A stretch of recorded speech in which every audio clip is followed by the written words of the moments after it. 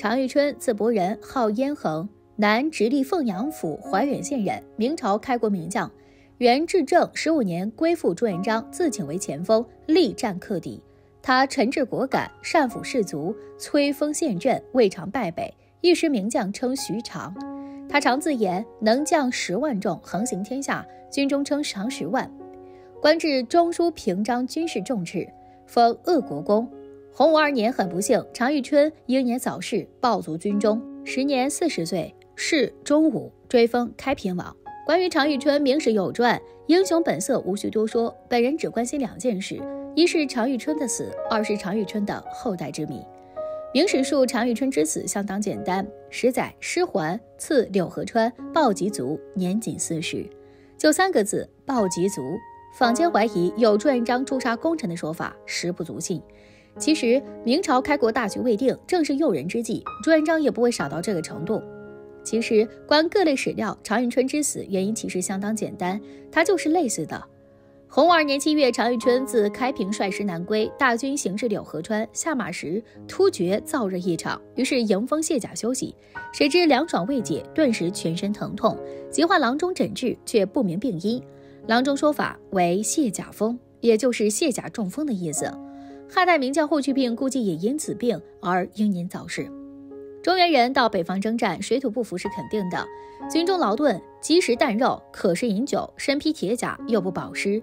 北方夏天暴晒，铁甲导热，大汗之后必然脱水。如果突然冷风临身，出问题是很自然的了。按中医的说法，邪气入侵，中风致病。相比较常遇春的死，其子孙的情况则相当复杂。常遇春有三子三女，三子分别为常茂、常生和常森。常茂和常生，《常遇春传》都有简述，常森则未提及。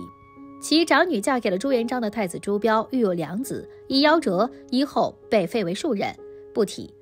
常遇春三子都有故事，而且皆留下谜团，让后人琢磨不透。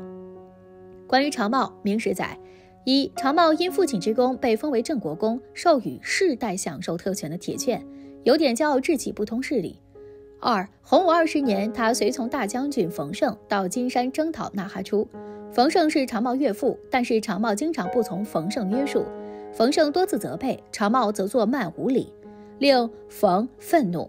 三哈纳出请求投降，前往右副将军蓝玉的营帐饮酒，和蓝玉言谈失和。纳哈出拿过酒杯，将酒浇在地上，回头对部下说了一些话。长茂座中。部下通蒙古话，悄悄告诉长茂，纳哈出想逃跑。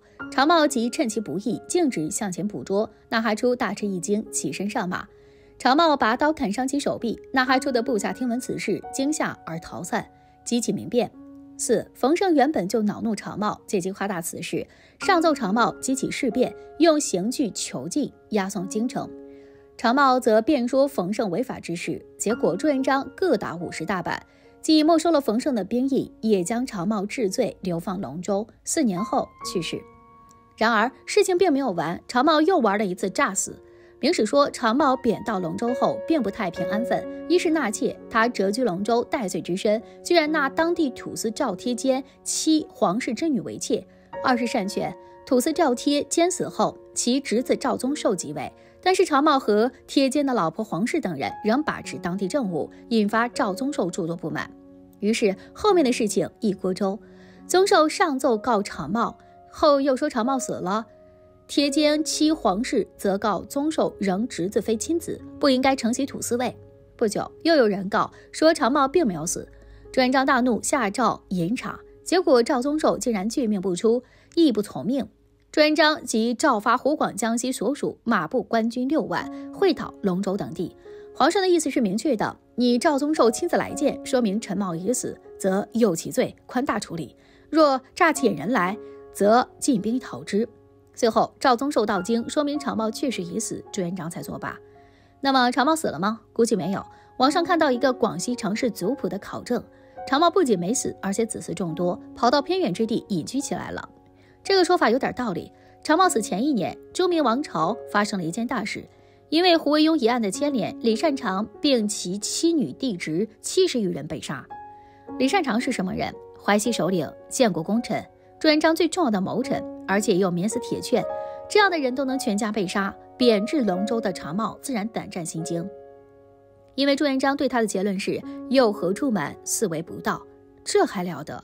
常茂感到大事不妙，做出诈死的决定，并故意通过政敌赵宗寿之口传到京都，以让皇上确信。但是没有不透风的墙，常茂诈死的说法终于传到皇上耳中。此时赵宗寿可能也发现上当了。常茂生不见人，死不见尸，无法交代呀，所以只能屡诏不治。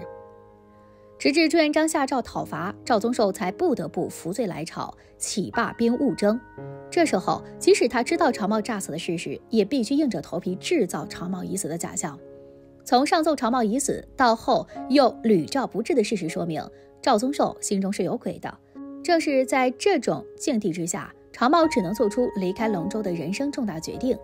明史说，洪武二十五年，即常茂诈死第二年，朱元璋封常遇春次子长生为开国公。圣旨中说：“为西末后无嗣，承袭仍需有人。子尊兄终及帝之立志，封尔生为开国公。”按此说法，本来是应该封常茂的儿子的，可惜他没后人，只好封了他的弟弟。据信，常茂与冯氏夫人曾有三个儿子，怎么就无嗣了呢？有一种说法比较有合理性：常茂诈死跑路之后，常茂和冯氏夫人经过周密安排，根据当时政治大环境，常茂自己跑了，也妥善安排了冯氏夫人和儿子们。朱元璋杀人如麻的做派，肯定让他们极有顾虑，因此隐姓埋名、人间消失是最好的办法。再说，他们也有这样的条件，比如洪武二十四年，开平王常遇春之妻兰氏夫人还在世，他绝不会坐视不管，一定会千方百计地施以援手。其实，舅老爷梁国公兰玉还在位，有职有权，他完全可以帮助其外甥和儿子结位。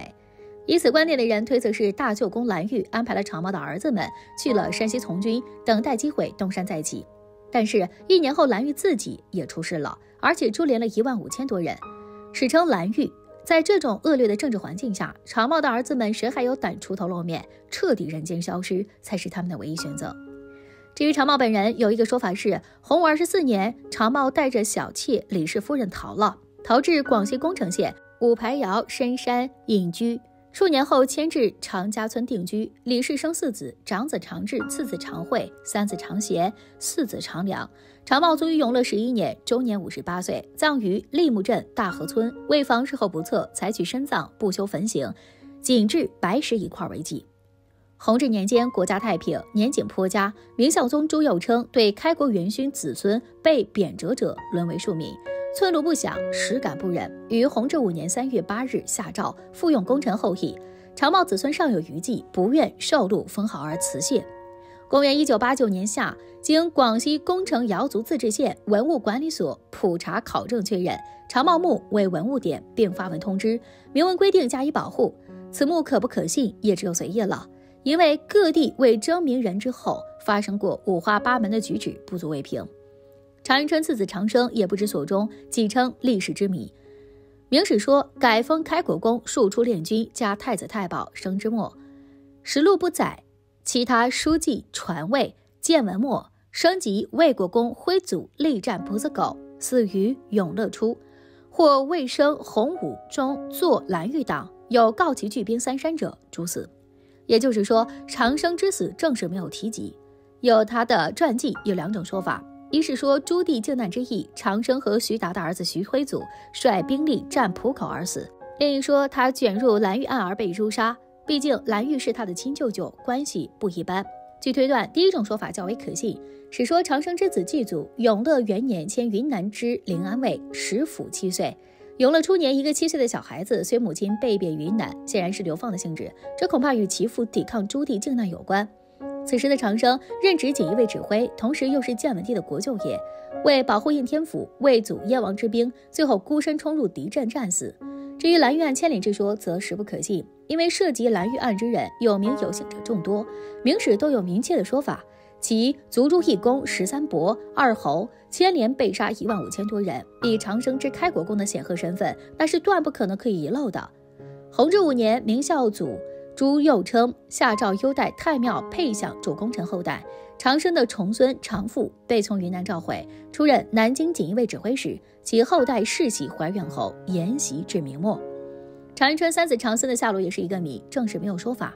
据说南京被围之时，长生和长孙都有后事的安排，比如长生便将大儿子继宗送往怀远避难，二儿子继祖及胡氏夫人兵变后，则被流放云南临安。长森则想得更明白，好汉不吃眼前亏，逃亡是他们的第一选择。他与吴氏夫人及两个儿子长刚、长强趁乱北逃山西，后来在陕西米脂县陈家岔村定居。据说，今天米脂县的常氏家族即为长森的后裔。自明永乐间迁至米脂以来，常氏家族历二十八世，在陕北黄土地上生活六百余年。野史称，长森隐居米脂后，改名长僧，在永和寺做道士。今米脂县中武堂常氏家族，则是其长子刚、次子强的后裔。即便是身居陕北，长森仍对朱棣心存忌惮。他将落户米脂的长子长刚列为七甲，次子长强列为十甲，这便有了米脂常氏的七甲、十甲之别。其中原因也有这几种说法：一是传说朱棣曾派人到陕北追查常遇春后人，分甲一方面可以表明米脂常氏在此地落户已久；另一方面说明两甲常氏关系疏远，这就可以避免灭族的危险。二是说过去常氏人口较少且居住集中，分甲后可以确定同姓通婚的界限。三是说刚强兄弟关系不睦，才造成一门分两甲的局面。长森去世之后，葬在陈家岔火神庙山上。其子长刚、长强二人则在定居的长石畔开荒种田，繁衍后代。今永和寺东南一百六十米处，可能就是米脂中武堂常氏最早的祖坟。当地老人讲，解放前后，常氏祖坟不光有墓群，周围还有十余根残存的石桩，占地三十余亩。其中第二排目前立有一方高一点五米、宽零点八米的石碑。遗憾的是，石碑为砂岩制成，加之年代久远，碑文已无法辨别。常氏族人推断这是长冈长墙的墓地。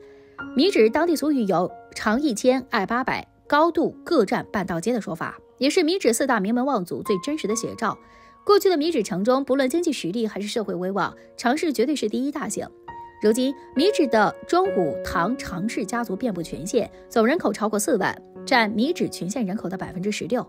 看来长森一脉最为兴旺发达。倘若常遇春地下有灵，足可宽慰了。